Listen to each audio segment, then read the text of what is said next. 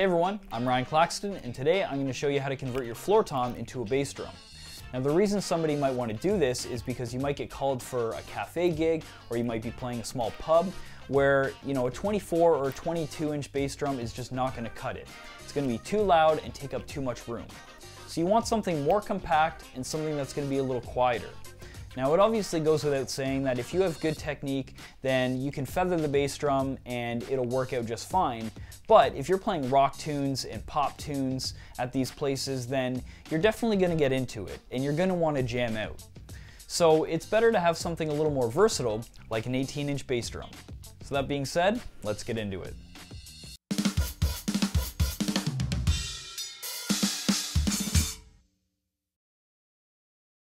Okay, so for starters, I'm not actually going to replace the batter head itself because there's really nothing wrong with this head. It's fairly new, and as much as there's a bit of wear and tear just from touring and that type of thing, it's still a perfectly good head, so there's no sense spending more money on another head when I don't need to.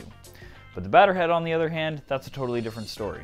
So that being said, I'm going to flip it, but first, I'm going to put it thrown down like this, and I'll flip it. And by me doing this, it's just gonna make things easier for me because then I can either stand or I can sit and work on it no problem as opposed to just doing it all on the ground. So this is just my way of doing it. Feel free to obviously do this on the ground, not a big deal. Okay, so the next step is obviously to get rid of the legs because we're no longer gonna need these.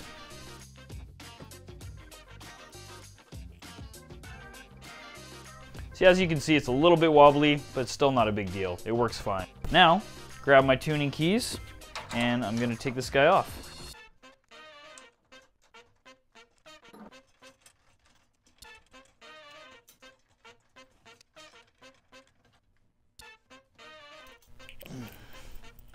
Okay, now first things first, this guy has a little sticky here, and this is actually made by Sledgepad here. I actually love this. It's just for resonant purposes and stuff, but uh, this thing's great. So we don't need this stuff anymore.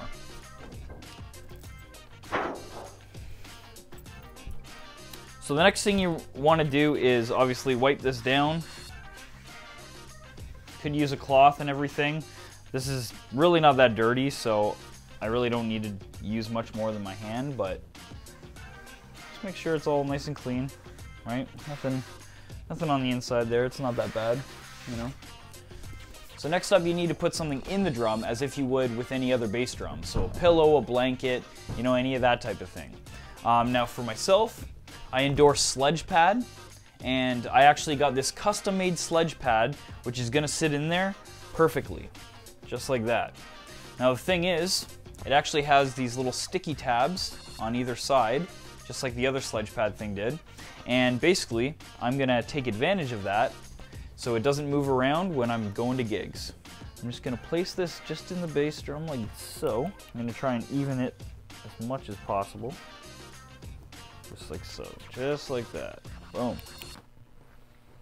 All right, so we got our sledge pad in there. The next thing we need to do is obviously put a resonant head on it. And if you watched my last video, I showed you how to cut a perfect sound hole in the bass drum head. And I actually used an 18 inch and I was hinting at what I was gonna do with it. Well, this is exactly it. So we're gonna take this guy here and put her on.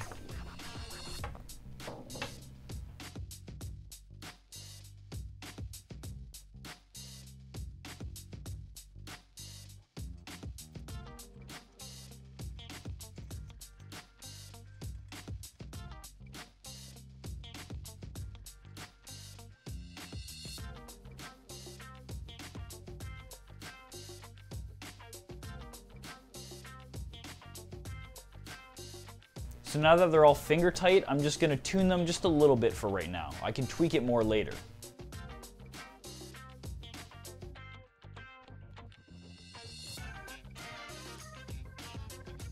All right, so now that I've roughly tuned this, then I can put it on the ground and use the one last tool needed to make it a bass drum. Now the tool I use is called the DW9909. So let's get on the ground and check it out. Alright, so this weird looking thing that you see here is the DW9909. As you can see, the bass drum pedal's already hooked up to it. equipped with my custom lowboy beater to match my kit. Now these little rubber stops here are meant to go on the underside of the hoop and they're meant to stop it from moving. Now as you can see there's lots of adjustments to be made on all of these legs to basically accommodate any sort of size drum or percussion instrument. You can even put djembes and congas on this as well. So that being said, I've already adjusted it. Let's just throw this floor tom on and make it a bass drum. Now placing it on is super simple. Like I said, I've already made the adjustments necessary. It just slides on like this.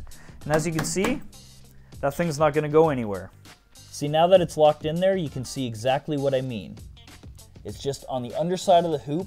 It's not hurting anything because it's rubber, and it's just gonna keep it there so it doesn't move whatsoever.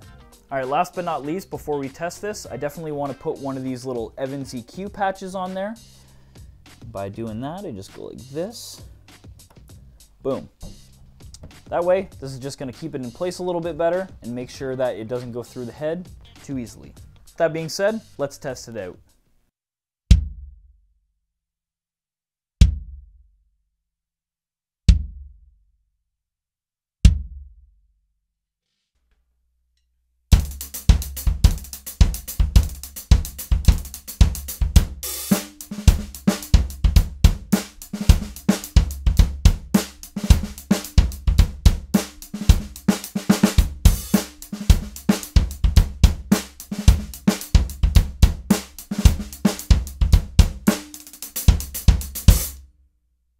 All right, so there you have it, how to convert your floor tom into a bass drum.